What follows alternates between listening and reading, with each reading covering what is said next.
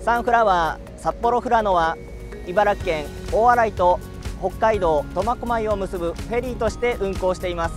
サンフラワーはマイカーでそのままご乗船いただくことが可能で船内は個室タイプの客室を完備しておりますので小さなお子様連れでもお気兼ねなくゆったりとおくつろぎいただけます。さらに海の望める展望浴場や長旅でもお子様が楽しめるキッズランドなど乗船中にご利用いただける設備も充実しております。お食事は旬の食材を使ったバイキングで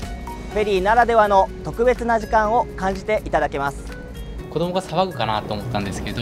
個室だったので他の方を気にしないで過ごすことができてよかったです。子連れだと荷物がすごい量になるので家からこう車に積んで車のまま行けるっていうのがすごい楽でした。東京駅から大洗港フェリーターミナルまでは車で2時間弱苫小牧港から札幌登別までは約1時間です。ご家族での思い出作りにぜひサンフラワーをご利用ください。